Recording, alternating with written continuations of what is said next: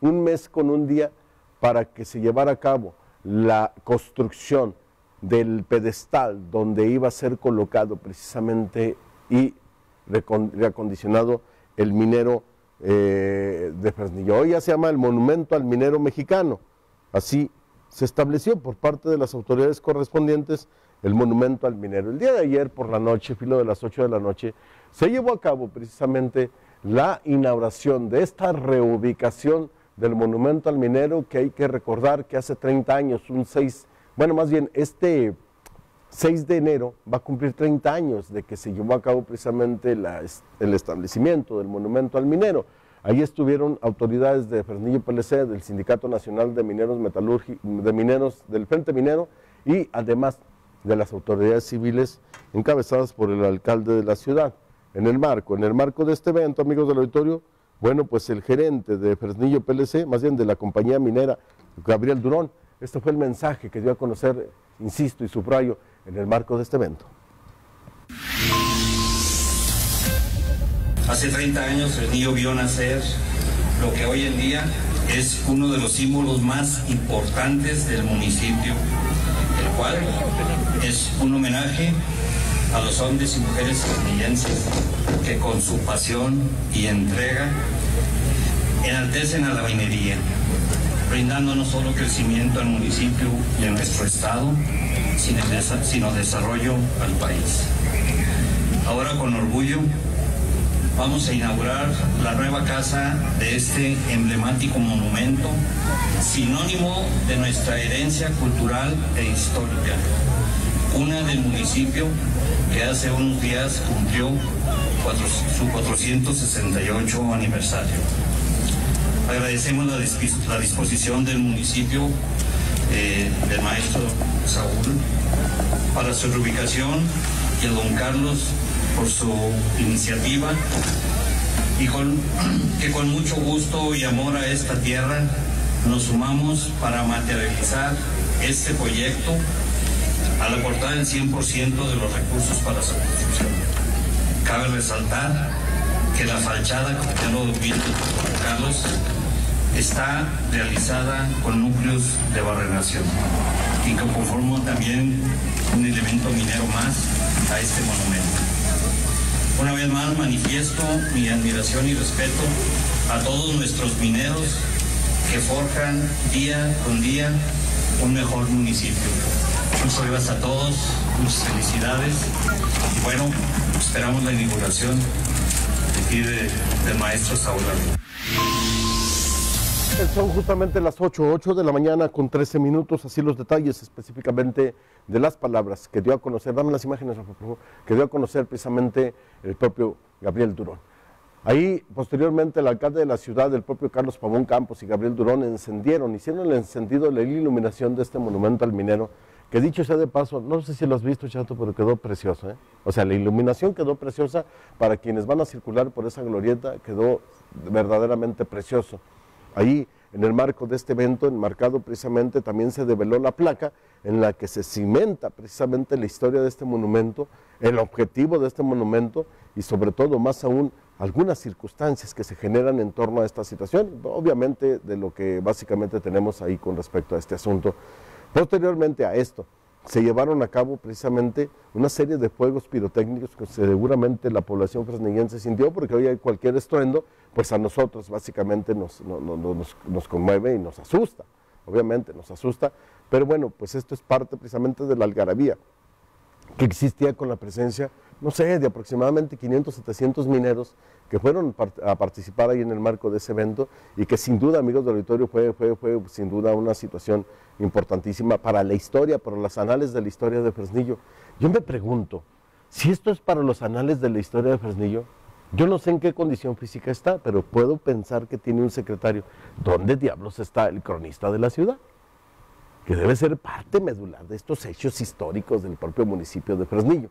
Bueno, en el marco de este evento, Carlos Pavón Campos, secretario general del Sindicato Nacional Frente Minero, habló.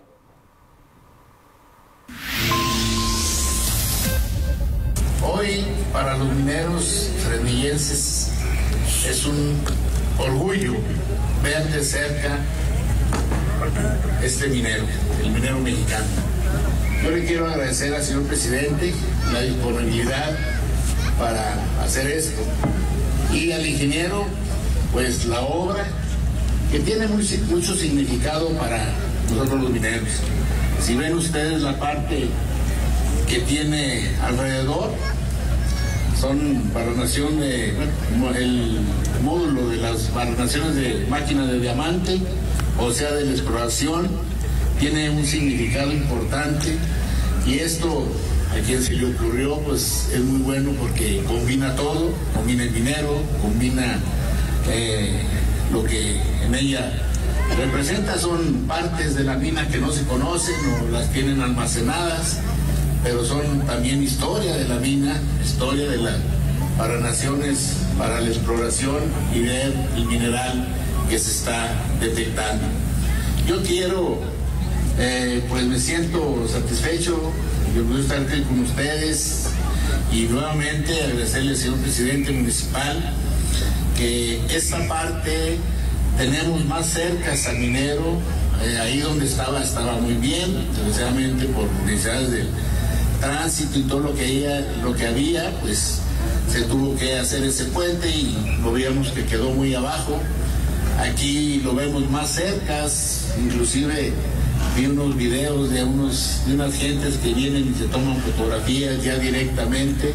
Entonces es una parte que pues nos sentimos orgullosos, satisfechos y también esperamos también poner el otro en un lugar también vistoso, un municipio que nació de la minería, cumplió 468 años y bueno, ha vivido todo este tiempo, es una mina que todavía no se termina, una mina que ha tenido muchas altas, también muchas bajas.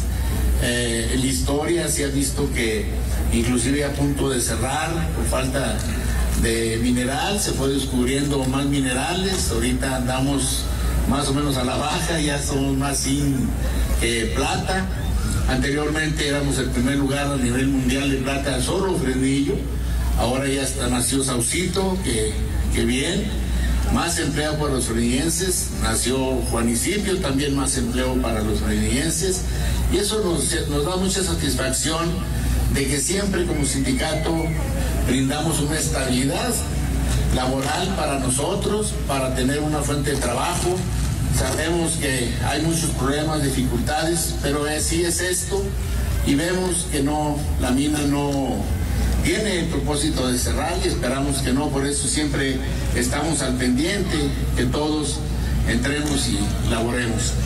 Eh, yo quiero reconocer a la empresa que todos estos años, yo en lo particular, 44 años, nunca me ha dicho la empresa, espérate, te voy a pagar la semana que entra, o no tenemos dinero siempre.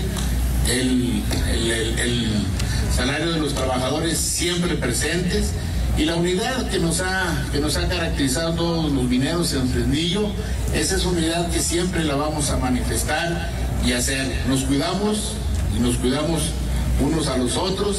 También en seguridad es un tema importante, compañeros y compañeras es el más importante de todos para todos, porque es la vida de cada uno de ustedes. No queremos que haya ningún accidente fatal, no queremos que nadie se accidente, queremos que todos nos convertamos en, vigilantes de la seguridad. En Juanicipio esa es la primera sección donde se firmó una carta compromiso. No trae un compromiso de perder el trabajo, ni mucho menos, sino un compromiso de hacer seguridad porque nosotros todos queremos que así como vienen a trabajar, regresen a su casa, cansados pero sanos. Y bien, queremos que las mineras de todo el país no nada más se nos diga que somos, que es unas minas que son peligrosas. Lo que pasó en Sabinas, desgraciadamente, es una mina de carbón muy diferente a la que trabajamos nosotros. Desgraciadamente allá son otros temas, otras circunstancias que nosotros sí sabemos identificar cuál es una y cuál es otra. Por eso, compañeros, yo me siento muy orgulloso de ser minero, me siento muy orgulloso que el señor presidente nos haya ayudado con esta, este momento minero, el ingeniero Gabriel también eh, le echó todas las ganas, un mes, dos días aproximadamente, se llevó, nos, faltó una semanita, pero bueno, este, Yo creo que es una obra muy bonita, muy significativa para los fresnillenses y para los mineros en especial. No es que esté porque esté ubicada cerca de la empresa, sino creímos que era un lugar donde aquí agarramos a Zacatecas, a otro lado, y es donde se aprecia mucho mejor. Ya lo veremos también en la noche, muy iluminado, muy bonito, y verán que todo esto da realce a Prelillo, y también ojalá el ingeniero se anime a, abrir la mina, la mina este, turística también lo tenemos, no es la del Edén, pero también es una mina muy bonita, pero este, tener en Fresnillo cosas que los visitantes lo vean, está acá el parque de los Jales y cosas que eso significa, el Ágora que es una obra del señor presidente, muy bonita también, ya la hemos visto, todo esto se conjunta para que podamos apreciar poco de lo que es Fresnillo y lo mucho que vale Fresnillo. Bien, son las 8 de la mañana, 8 de la mañana con 21 minutos. Bueno, pues estas son las versiones que dio a conocer precisamente Carlos Pamún Campos en el marco precisamente de esta inauguración, que fue magistral, majestuosa, quienes estuvimos presentes y quienes usted pudo ver en las redes. Ahorita le estoy presentando algunas de las imágenes que dicho sea de paso, las imágenes completas de los, juegos, de los juegos pirotécnicos, pues obviamente las pusimos eh, o las vamos a poner precisamente en YouTube, todo lo que se generó en el marco precisamente de este evento. Para concluir, el alcalde de la ciudad, Saúl Monreal Ávila, esto fue lo que afirmó.